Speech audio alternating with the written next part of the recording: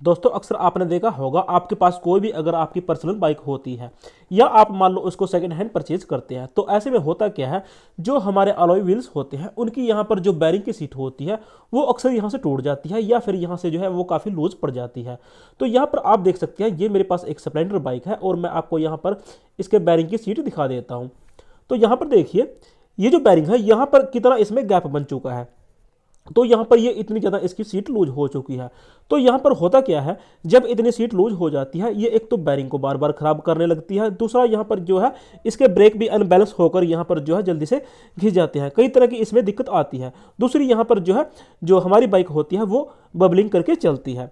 तो यहाँ पर कुछ इसके रीजन होते हैं। अब इसका कारण क्या होता है? इसका कारण ये होता है कि जैसे कि हम मान लो बाइक के अंदर जो यहाँ पर ये हमारे अलॉय व्हील्स हैं, या फिर जैसे कि स्पोक वाले सिंपल हमारे चक्के होते हैं। वहाँ पर उसके अंदर अगर हम लोकल या डुप्लीकेट बैरिंग डालेंगे तो वो जल्दी से इसकी सीट को ख़राब कर देता है। दूसरा रीज़न वो होता है, जैसे कि हम मान लो बाइक को उबड़ खाबड़ रास्तों में चलाते हैं और उसके ऊपर तीन या चार बंदे रेगुलर चलते रहते हैं। तो ऐसे में वहाँ पर वो जो है, जब उबड़ खाबड़ रास्तों में बाइक चलेगी और वो उसकी स्पीड दोस्तों कम नहीं होगी तो ऐसे में तब भी जो है, हमारे अलॉय व्हील्स ख़राब हो जाते हैं, उसकी बैरिंग की सीट ख़राब हो जाती है।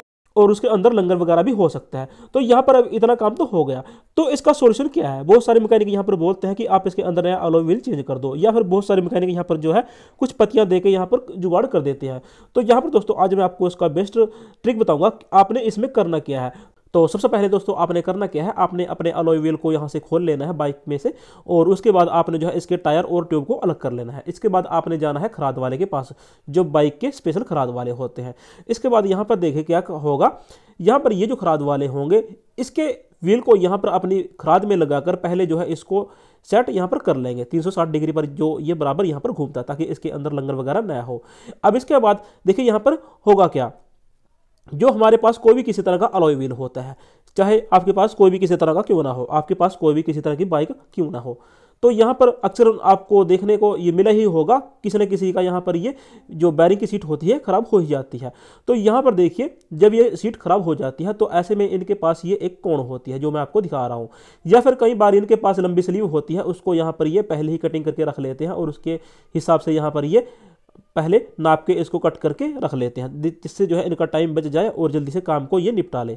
अब यहाँ पर देखिए, जब ये इसको इसमें लगा लेते हैं तो यहाँ पर ये जो है, जो इसकी ये बीच की सीट है, जहाँ पर ये हमारा बैरिंग इसमें लगा होता है तो इसको थोड़ा और ये अंदर से जो है कटिंग करेंगे।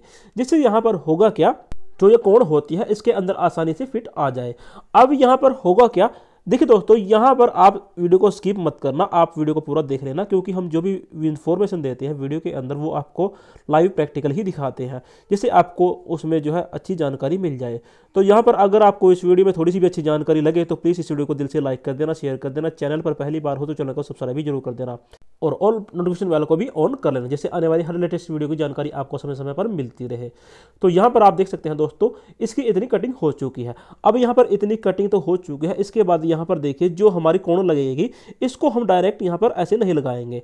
तो यहाँ पर जो हमारे पास ये एरोडाइट होती है, जो ये आप ट्यूब देख सकते हैं, यहाँ पर ये जो है दोनों को मिक्स करके इसमें लगाएँगे। जिससे ये कोण जो है यहाँ पर आसानी से फिट आ सके और यहाँ पर ये इसकी पकड़ अच्छी बन सके और जिससे हमारा बैरिंग यहाँ पर ये जल्दी से सीट दोबारा जो होता है, इसका लूज ना पड़े। अब यहाँ पर देखिए, इतना काम होने के बाद जो ये इसकी कोण होती है तो यहाँ पर ये इसको लगाकर यहाँ पर इसके ऊपर रख के इसको इसमें ठोक देते हैं और बाद में जो है इसको थोड़ा बहुत कटिंग करके जिस हिसाब से यहाँ पर बैरिंग की सीट होगी, उसी हिसाब से इसको थोड़ा यहाँ पर जो है दोबारा इसकी कटिंग की जाएगी, ताकि बैरिंग को जो है आसानी से इसके अंदर ठोक दिया जाए और बाद में वो लूज ना पड़े। तो अब देखिए यहाँ पर होगा क्या? इसको कुछ देर के लिए ये ऐसे ही रहने देते हैं ताकि यहाँ पर ये जल्दी से इसकी एरोडाइट जो होगी वो सूख जाएगी। और इसके बाद देखिए जब यहाँ पर ये सूख जाती है तो इसको यहाँ पर जो है दोबारा से थोड़ा कटिंग किया जाता है बैरिंग के हिसाब से। क्योंकि यहाँ पर जो बैरिंग होगा तिरसठ ज़ीरो एक जो इसके अंदर नंबर आएगा, वैसे भी आपके पास कोई भी अलोई व्हील होता है, उसका जो नंबर होता है, उसी के हिसाब से जो है यहाँ पर सीट तैयार की जाती है। तो यहाँ पर देखिए दोबारा जो है इसको थोड़ा कटिंग किया जाएगा और यहाँ पर जो है उसके हिसाब से जो बैरिंग है बैरिंग को यहाँ पर इसमें ठोक दिया जाएगा। तो यहाँ पर ये जो होता है, इस तरीके से जो है कोई भी अलॉय व्हील होता है, उसको हम इस तरीके से ठीक करा सकते हैं। तो दोस्तों, अगर आपके पास कोई भी आपकी बाइक होती है तो उसका अगर अलॉय व्हील ख़राब हो जाता है तो आप उसके अंदर ये इस तरीके से अपने खराद वाले के पास जाकर, जो हमारे बाइक वाले खराद वाले होते हैं, उनके पास जाकर आप अपने अलॉय व्हील को ठीक करवा सकते हैं। तो यहाँ पर जो है तरह तरह के कोई भी जो अलॉय व्हील होते हैं, उनको जो है इस तरीके से ठीक किया जा सकता है। तो यहाँ पर आपको नेक्स्ट वीडियो में आपको ये बताऊँगा, जो इसकी ये ब्रेक शू वाली सीट होती है, इसको भी यहाँ पर किस प्रकार से रिपेयर किया जाता है। तो यहाँ पर दोस्तों, ये एक छोटी सी इन्फॉर्मेशन थी, जो आज मैंने आपको अपने इस वीडियो में शेयर की। तो उम्मीद करता हूँ दोस्तों वीडियो आपको ज़रूर पसंद आया होगा। अगर आया है तो दोस्तों, इस वीडियो को दिल से लाइक कर देना शेयर कर देना। चैनल पर पहली बार हो तो चैनल को सब्सक्राइब भी ज़रूर कर देना। हम इसी तरह से आपके लिए नॉलेज वाले प्रैक्टिकल वीडियो लेकर आते रहेंगे और उनमें आपको जानकारी देते रहेंगे। तो दोस्तों, वीडियो देखने के लिए आप सबका दिल से धन्यवाद। आप सबका दिन शुभ रहे। जय हिंद, वंदे मातरम।